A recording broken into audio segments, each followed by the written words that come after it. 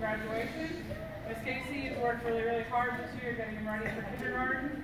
And we worked really, really hard to um, put this little performance together for you at graduation. So please enjoy. After um, after the presentation, there is some finger foods in the back, so please help yourself. Um, and thank you again. Ready,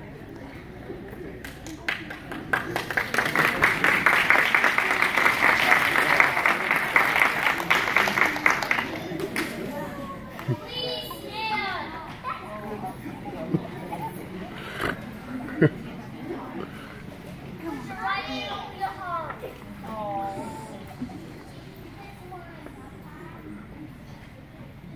Please